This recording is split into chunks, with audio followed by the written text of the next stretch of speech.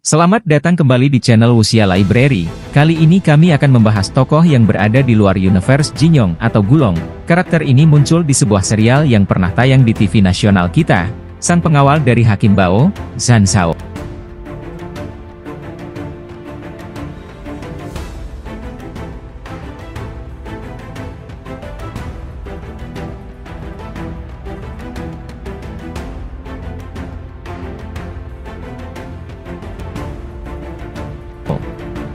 Di dunia persilatan, hampir di semua serial, sangatlah jarang ada seorang pendekar dunia persilatan yang mengabdi kepada negara, menjadi pejabat.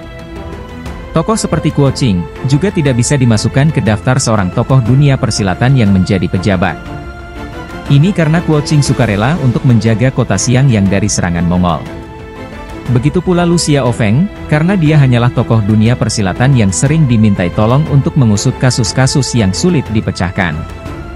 Wei Xiaobo, juga tidak bisa dimasukkan ke daftar tokoh dunia persilatan yang mengabdi kepada negara, karena dia menggunakan jabatannya untuk kepentingannya sendiri.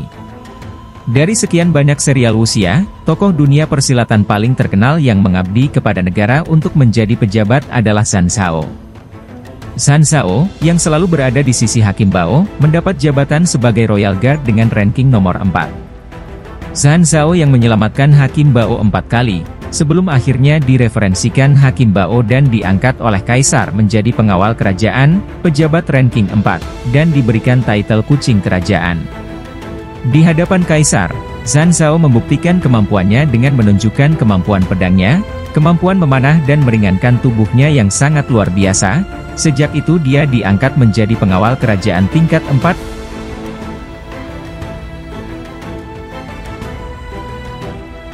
Pahlawan Selatan, pahlawan nomor 2 di dunia persilatan.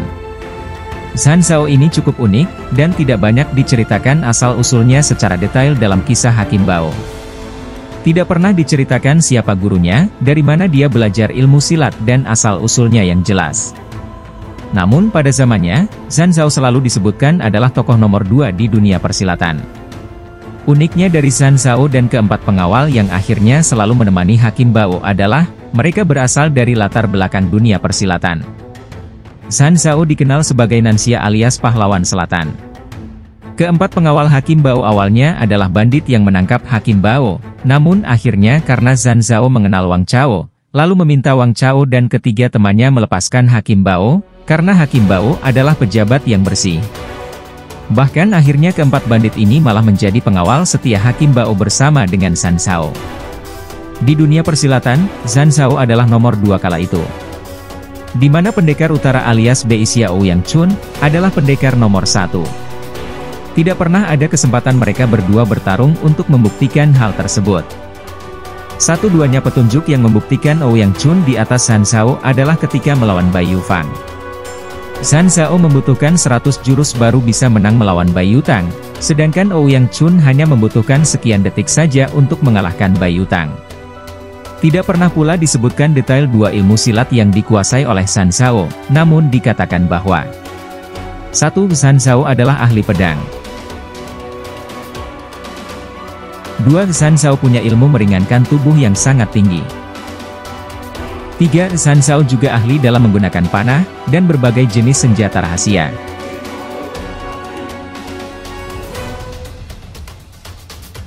Ada rumor bahwa Zhan Zhao adalah gambaran dari tokoh asli pada zaman dinasti Qing yaitu Gan Fengqi, yang dikenal sebagai pahlawan Jiangnan, dan penemu teknik tinju Nanxia Zhan Zhao, di mana sang penulis Xiu Kun menggunakan Gan Fengqi sebagai model untuk karakter Zhan Zhao.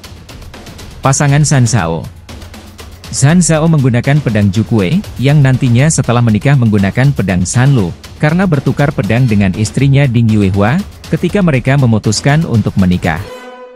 Istri Zhan Zhao sendiri adalah adik sepupu dari sepasang pendekar kembar, yang mana pendekar kembar ini masuk urutan ketiga dari pendekar terhebat di masa itu. Ding Yuehua adalah adik sepupu dari Ding Xiaolan dan Ding Xiaohui, keduanya dikenal sebagai pahlawan ketiga dari judul Tiga Pahlawan dan Lima Orang Gagah, yang akhirnya direvisi menjadi Tujuh Pahlawan dan Lima Orang Gagah. Pernikahan mereka berawal dari diundangnya Zhan Zhao oleh kedua saudara Ding untuk mengunjungi perkampungan keluarga Ding. Di sana San Zhao akhirnya mencoba tarian pedang menggunakan pedang Yege terkenal yaitu pedang Sanlu, di mana San Zhao berkata bahwa pedang ini lebih ringan dibandingkan pedangnya. Marah mendengar perkataan itu Ding Yuehua menantang San Zhao untuk berduel karena dialah pemilik dari pedang Sanlu tersebut. San Zhao sangat terkesima dengan kemampuan Ding Yuehua dan mengakui kekalahannya karena Ding Yuehua berhasil memotong ikat rambutnya. Namun Ding Zhaolan mengetahui bahwa San Zhao berhasil memotong anting dua Ding Yuehua. Singkat cerita akhirnya mereka berdua menikah dan bertukar pedang sebagai hadiah pernikahan. Pahlawan selatan yang menjadi penegak keadilan.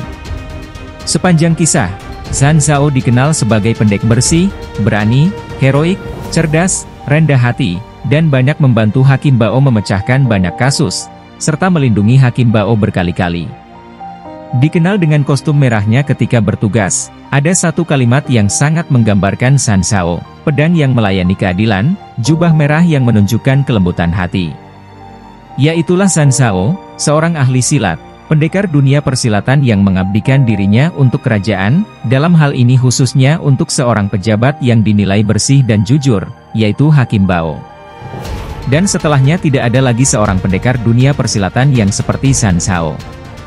Itulah profil dari pendekar yang mengabdi kepada negara sepenuh hatinya. Terima kasih sudah menonton video ini, sampai jumpa lagi di video kami yang lainnya.